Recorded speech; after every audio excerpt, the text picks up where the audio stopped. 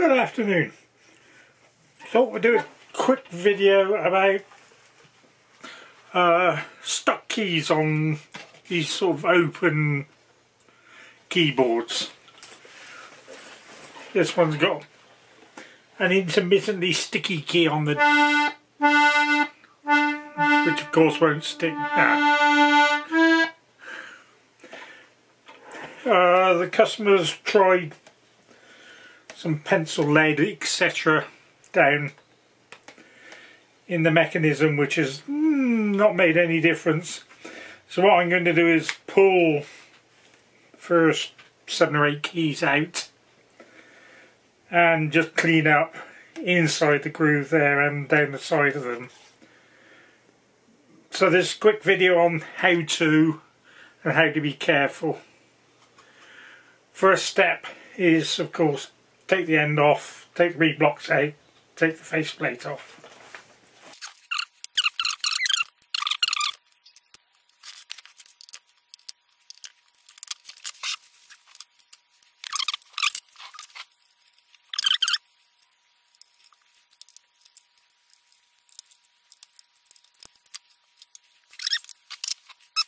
Inside is the slide for the stop I'd like to take that down just to make sure it doesn't get bent using some painter's tape.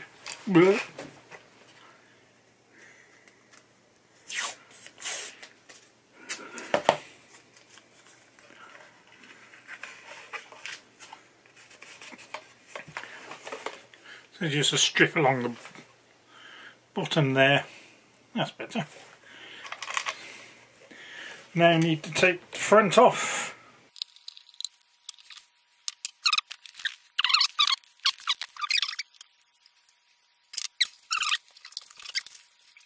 What I'm going to do now is label the buttons because it's oh, really important that everything goes back where it came from because as you can see the bend on these longer ones is different as it wakes its way down. So again, more painter's tape.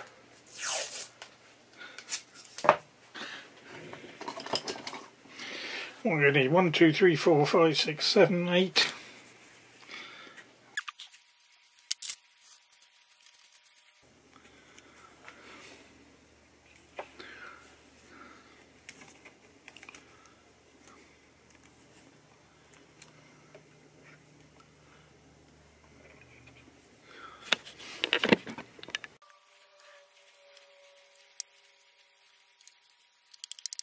And there we have all the buttons neatly labelled.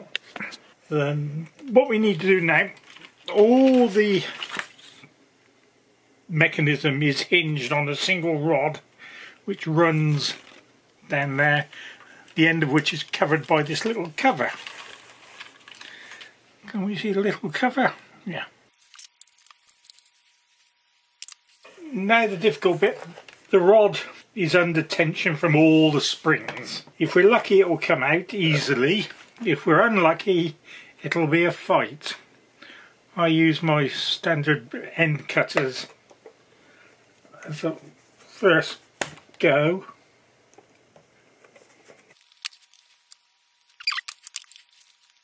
I've now got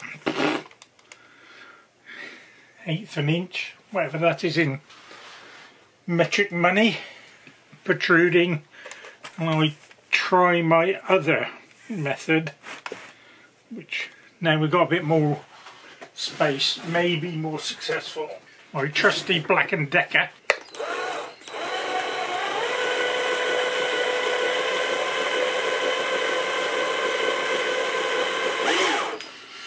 Right, slowly but surely it's starting to come out now.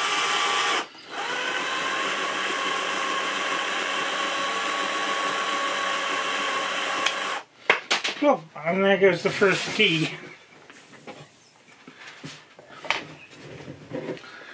Which I should have been covering with my hand.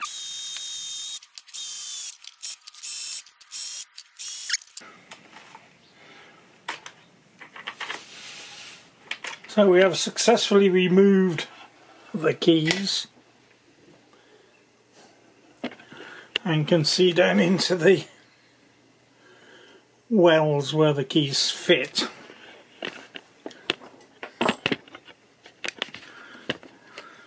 First thing I'll do is clean it out with my shop vac which is loud.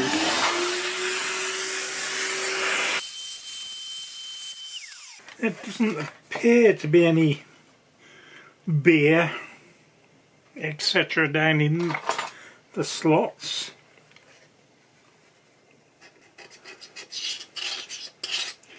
Using the back edge of a scalpel just to scrape down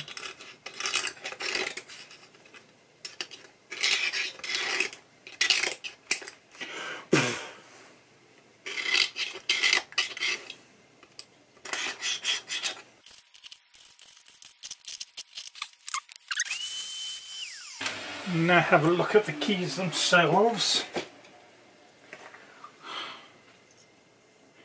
Number seven was the one that was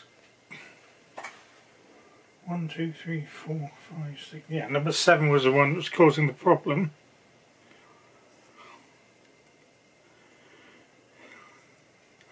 Doesn't appear to be anything other than the pencil lead that the customers put on there. But again, back of a scalpel blade, the non-sharp edge.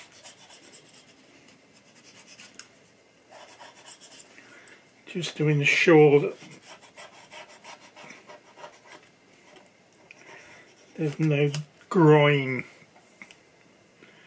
on there, and there doesn't appear to be. Don't forget to do the ends.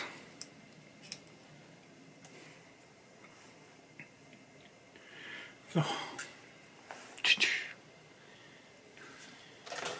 a bit more light. Where are we? There's the hole through which the axle goes. Again, it all looks clean enough.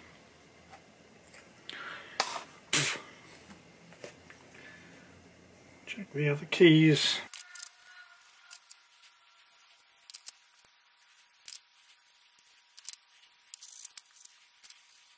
We'll put my keys in order. Eight.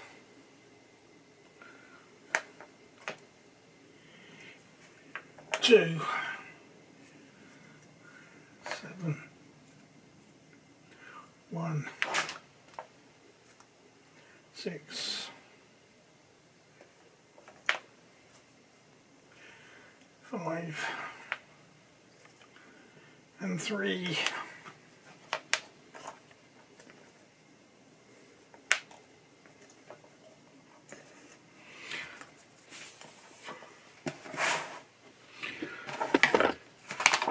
This can be the most difficult bit. Fortunately with this particular box, I can find my screwdriver, both ends of the rod hole are available. So I can go in with a of TIG welding rod from the other end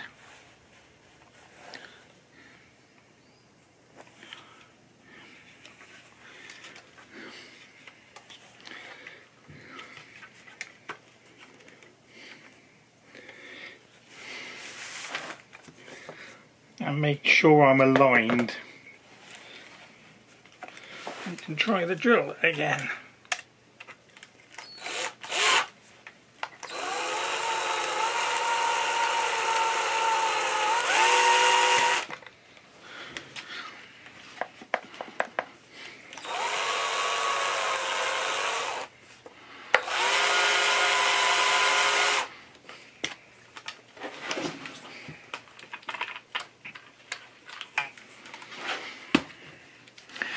Seems to be more successful.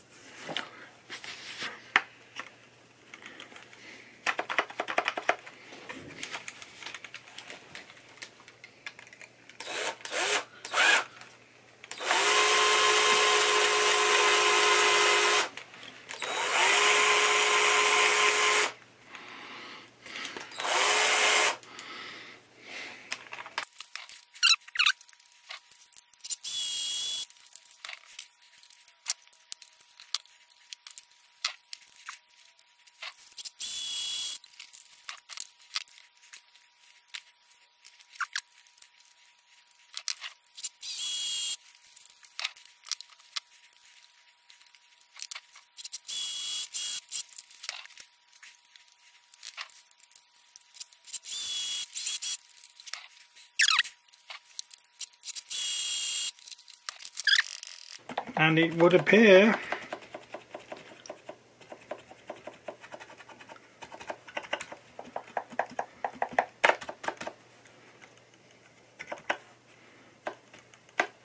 that the sticky button is no longer sticking. Push the rod back in fully.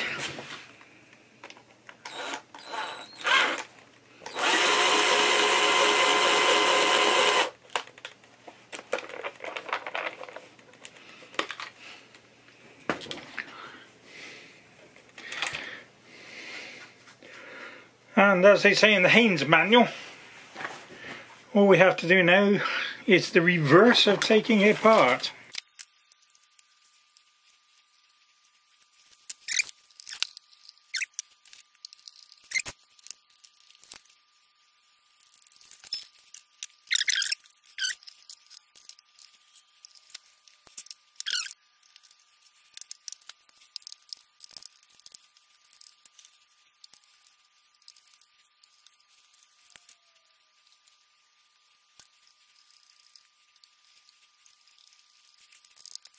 And hopefully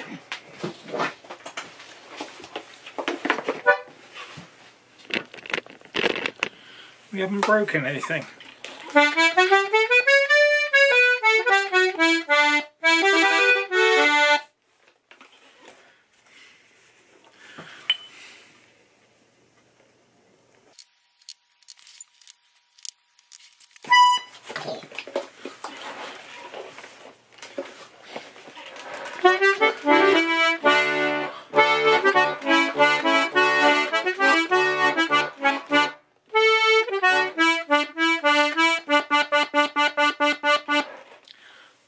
Seems to fix the problem. I've now just got to go and chop the worst parts of my repair out of the video and things will look fine.